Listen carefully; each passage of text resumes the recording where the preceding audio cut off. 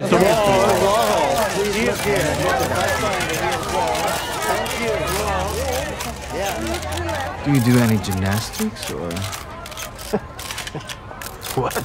gymnastics? Uh, gymnastics? Gymnastics? Yeah. No. I I watch football. Soccer, you know. FC Bayern. Oh, what is that? It's Bayern München.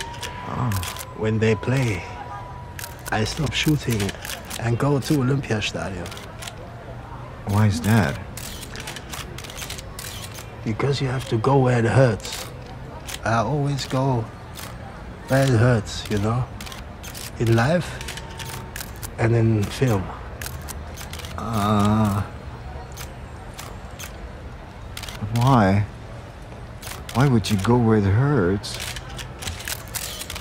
It makes it more real, you know. Oh, uh, can I take your photograph? Mm. Yeah. Oh yeah. Oh yeah.